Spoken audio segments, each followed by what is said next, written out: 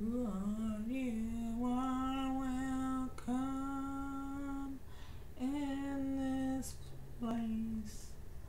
Lord, you are welcome in this place.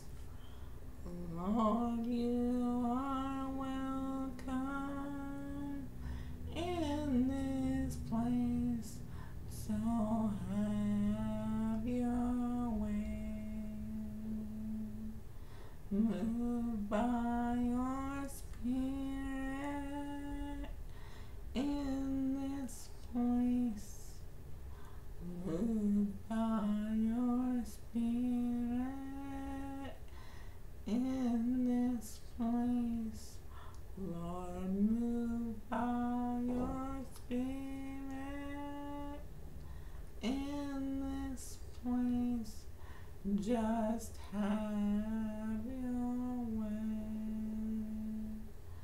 Lord, you are welcome in this place. Lord, you are welcome in this place. Lord, you are welcome in this place. Have your way. I give you all of me in this place. I give you all of me in this place. I give you all of me in this place. Have your way. Have your way, Holy Spirit. Have your way in this place right now. Speak to me, speak to me. I am your willing vessel. Lord Jesus, help me to remember that I am an oracle of you. I'm not here to perform, I'm not here to impress. I'm here to espouse the truth and minister to the broken and minister to, to your heart, God. I'm here to please you and only. Lord Jesus, I thank you. Hey guys, um, well, today is, is a part two of the seduction of sin, and it is called um, the inebriation of sin. Uh, when I say inebriation, I mean total loss of your senses, total loss of what you're doing, and total loss of who you are. And when I say inebriation, I don't mean just alcohol or drugs. I mean, you can be inebriated by anything. You can be inebriated by yourself. You can be ine- inebriated by shopping. You can be inebriated by a man. You can be inebriated by a woman. You can be inebriated by both. You could be inebriated by anything. Um, so when I talk about the inebriation of sin, it's basically the loss of your true self and who you are. Because so many people out there have lost themselves in themselves. They've they've put on uh, um, a a inauthentic picture of who they are in place of this um, in place of who they really are. And they hide behind their screens. They hide behind profiles and personas. And today my goal with this um, part two of this sermon is to um, get make you understand that to be soberly minded is what Christ wants. And when I say sober, I don't mean free from alcohol or drugs. I mean to know who you are, to have focus, and to have um, purpose, and to know what you are um, here to do, called to do, designed to do, and to be able to um, to be able to um, assess that clearly to people and to yourself. Um, so, um, last week I had mentioned a scripture in Proverbs that this week I am going to read. Now, warning here, I am not the best reader I can read, but I'm kind of slow at it. Um, so I will take my time and read uh, this scripture in Proverbs 7 um, from from 4 to 20 Proverbs 5 from 4 to 23 um, so there you go. Just let me get the scripture up here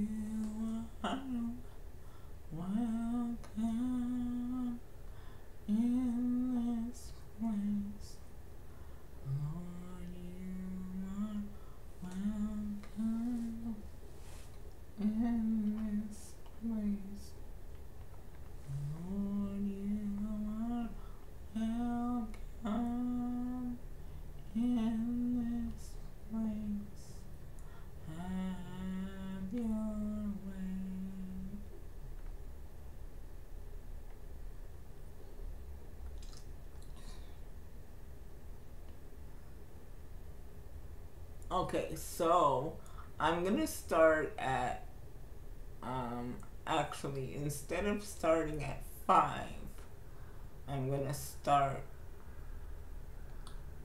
at six. Okay. It says at the window of my house I looked down through the lattice. I saw among the simple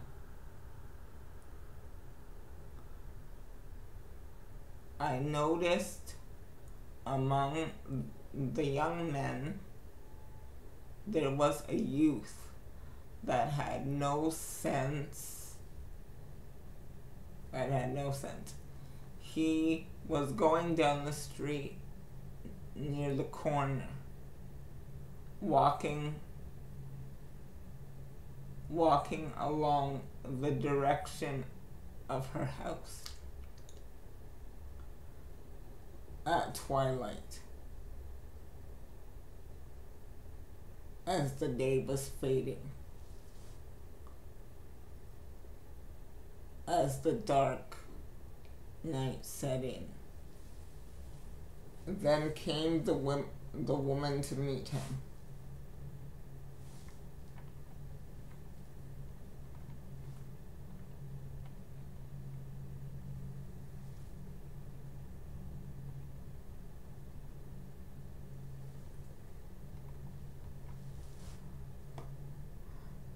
Dressed like a prostitute with a crafty with with crafty intent.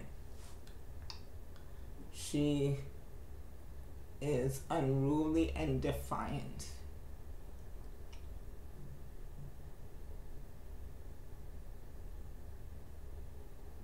Her feet never never stay at home.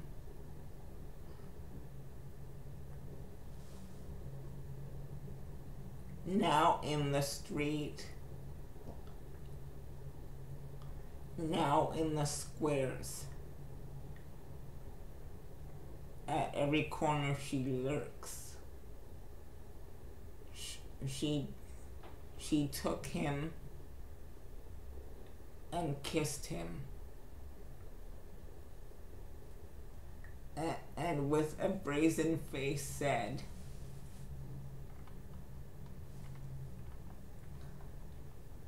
Today, today I have fulfilled my vows.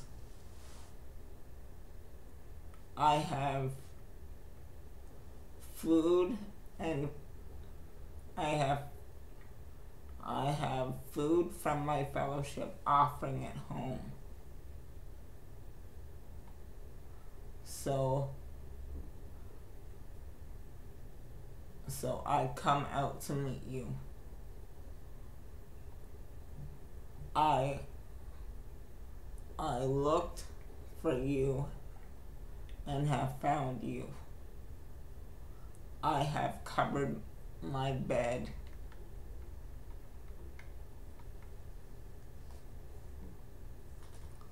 with linens from Egypt. Have perfumed my bed with myrrh and cinnamon.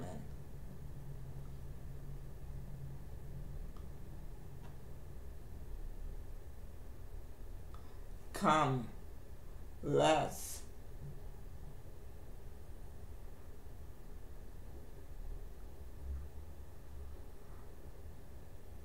deeply come come let's drink deeply of love until morning let's enjoy ourselves with love. My husband is not home. He has gone on a long journey. He took his purse filled with with money. And he will not be home until the morn. He will not be home until the full moon, sorry. With persuasive words, words she led him astray, astray with sedu- she seduced him with smooth talk. At once he followed her like an ox going to the slaughter.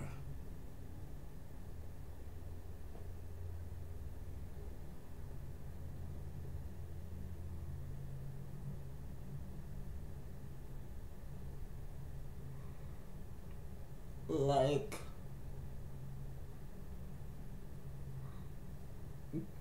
deer stepping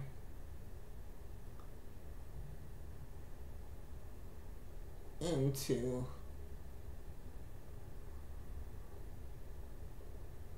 A noose. Like an, an arrow pierces his liver like a bird.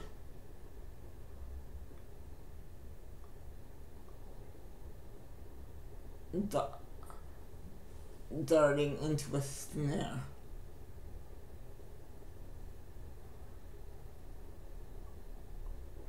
Little knowing it will cost him his life oh my gosh, this scripture is so powerful um, because it really brings home uh, what sin does. I think of the woman in this scripture as a, a, perso- a, a personification of sin, um, as a prototype of sin, because that's how sin works um, it really tempts you with what you want. Like, sin doesn't tempt you with what you don't want. The thing about sin is it knows what you want, it knows your desires, your in your innermost desires. It knows where you're weakest. It knows where you just fall short. And it preys on that. And sometimes, no matter how you try and uh, protect yourself, it still uh, can get in. Um, but the thing about it is, um, not that it won't get in, but the thing about it to me is actually not how you keep it from getting in, but what you do when it when it does get in. Um, for me personally, let me take this down first of all so I can see you. Uh, for me personally, is to be honest about it.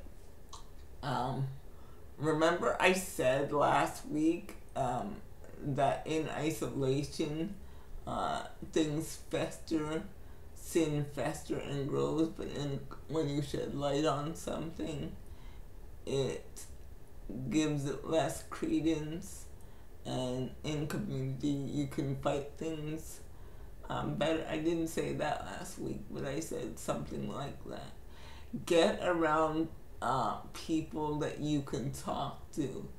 Um, get around faith believing brothers and sisters that you can trust and say, I am really struggling with this. I am really feeling inebriated by this. This um, certain thing is making me lose my mind.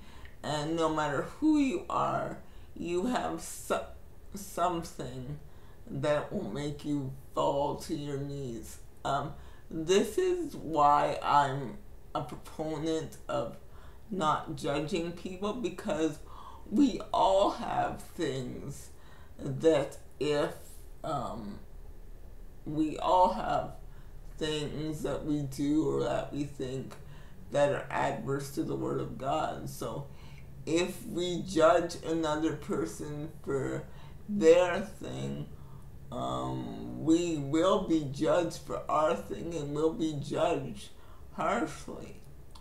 Um, uh, the Bible says, Judge not, lest ye be judged.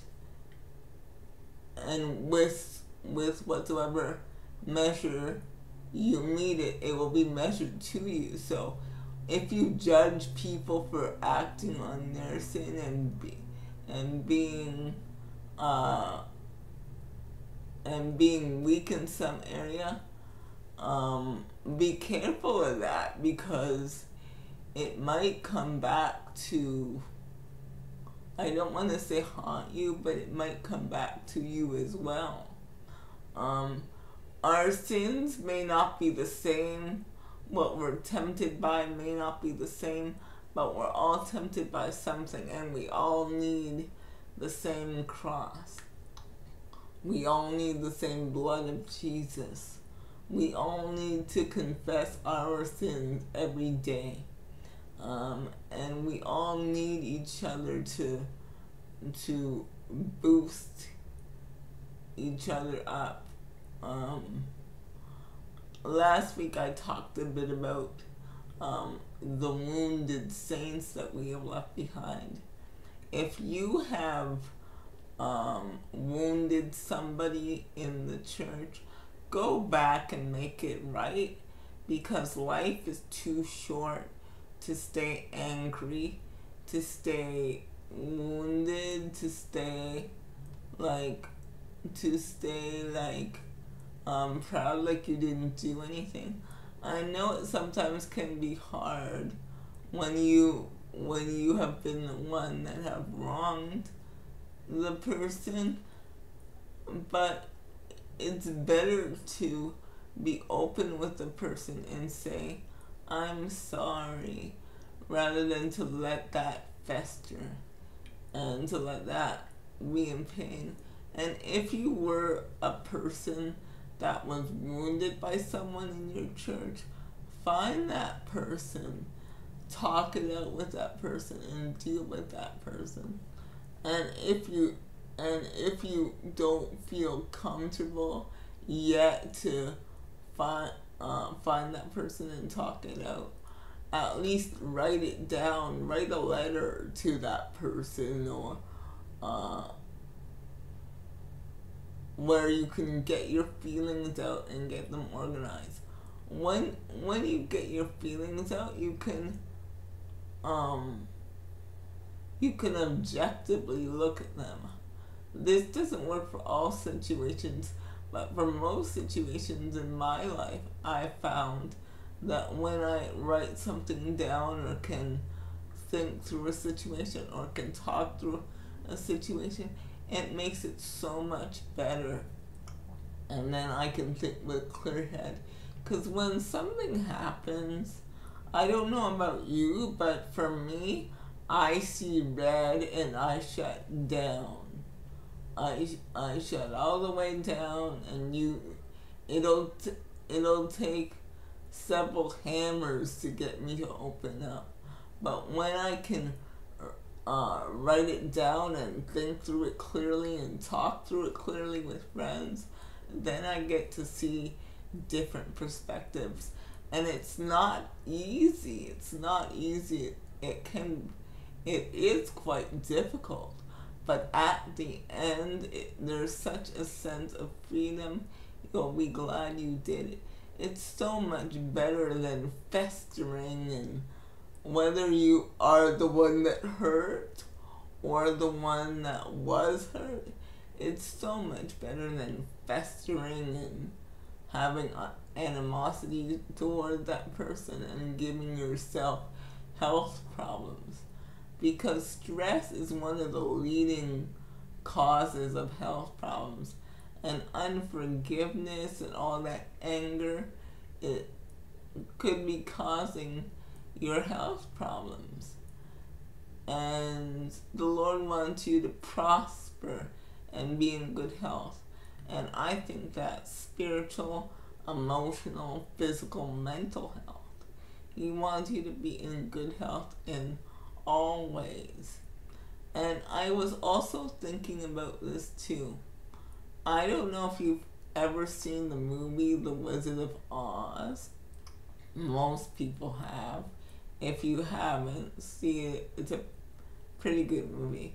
Um, there's a part in The Wizard of Oz where they're in this poppy field and the wi- the wicked witch of the west uh, sees Dorothy and the Tin Man and her friends in this poppy field and she casts a spell to make them fall asleep so that they would know what was going on. And I think, like the Wicked Witch of the West, the devil has cast a spell on us to the point to the point where where we're just we've fallen asleep on what we what we should be um, concentrating on as believers. And he's put little insignificant things in our way like um, should we baptize in Jesus name or Father Son and Holy Ghost? Or should we should we do this kind of music in church or that kind of music in church he's put all this all these different things that detract from the original gospel in our way so that people outside of the church, um, all they see when they see churches are people that fight all the time. And I think it's a demonic attack against the church. And I think until we can unify, until we can uh, celebrate our differences, not ignore them, but celebrate our cultural differences, cele- celebrate our differences in gender, celebrate our different strengths and different weaknesses, we will not get anywhere.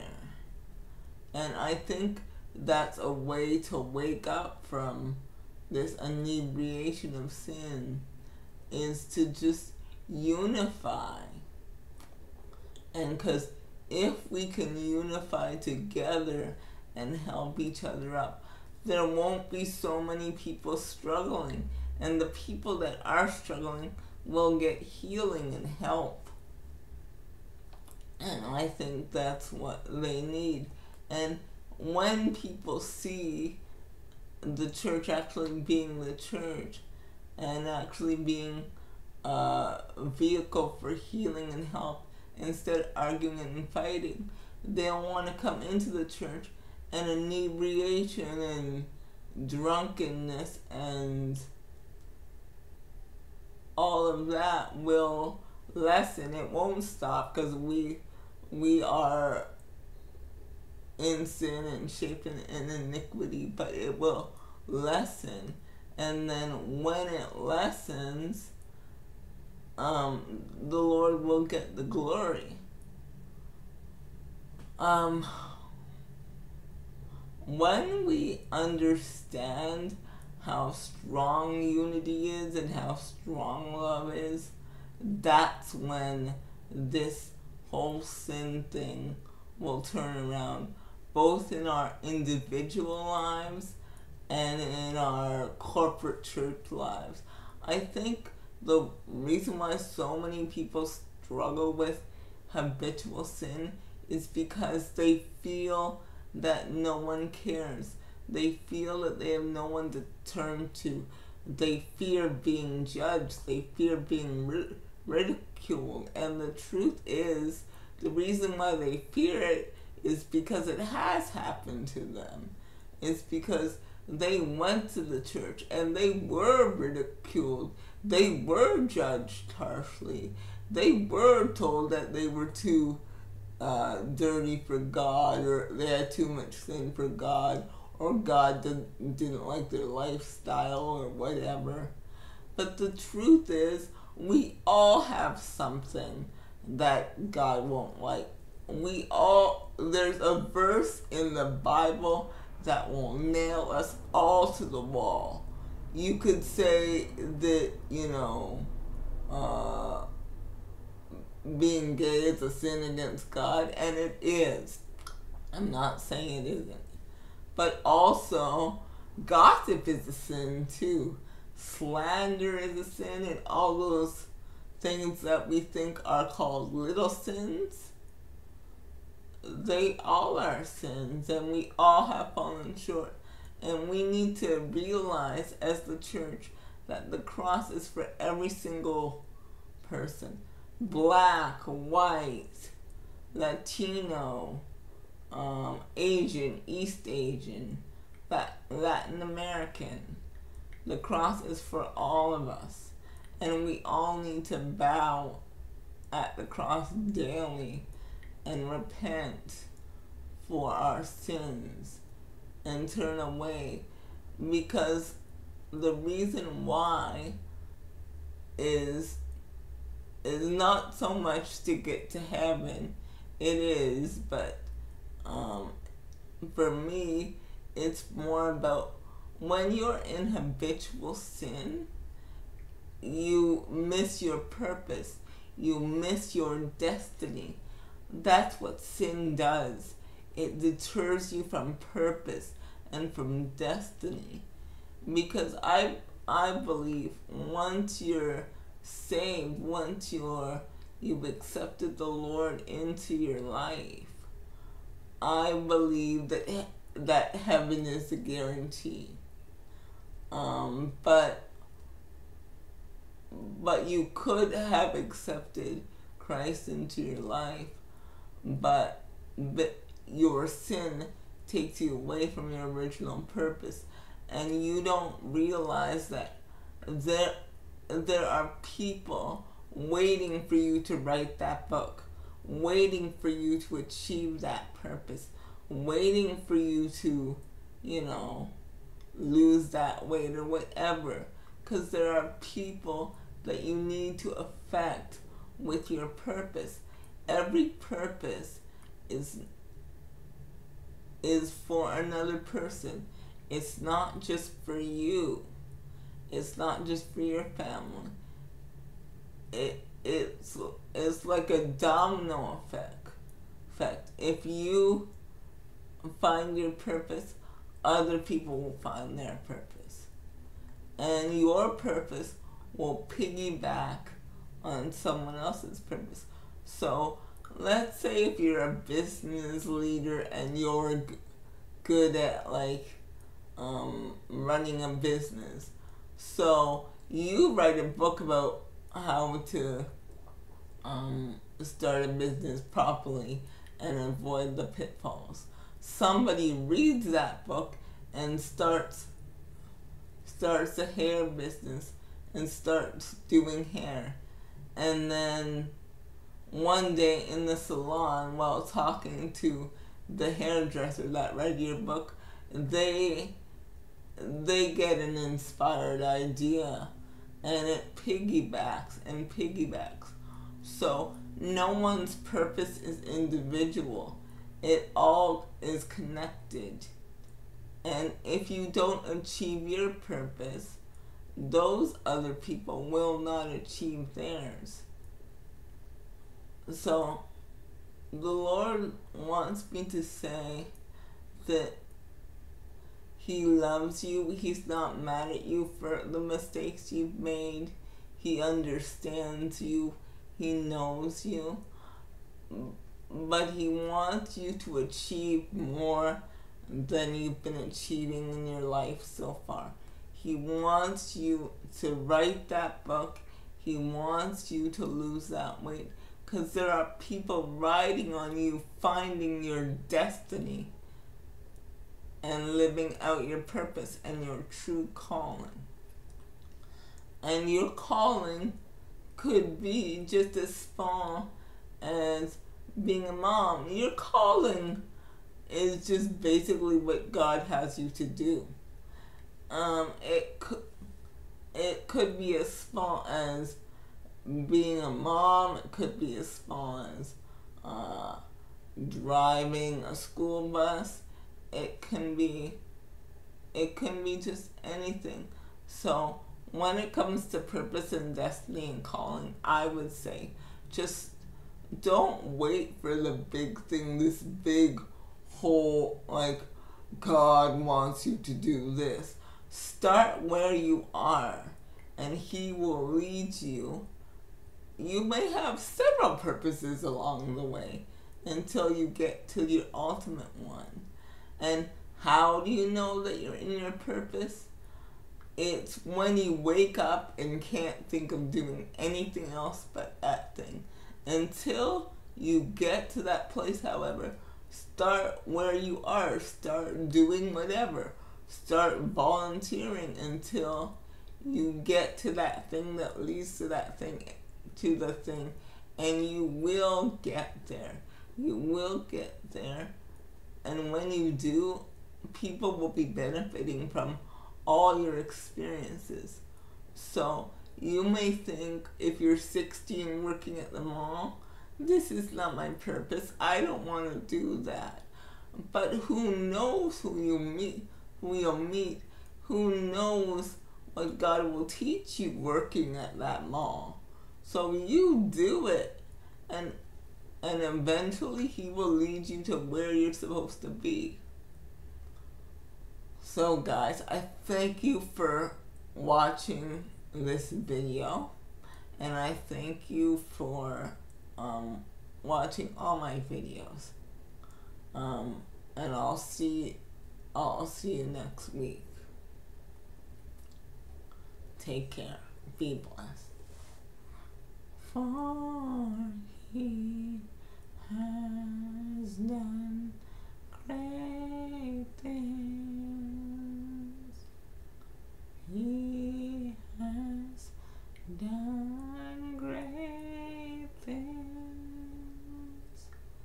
He has done great things. Bless his holy name.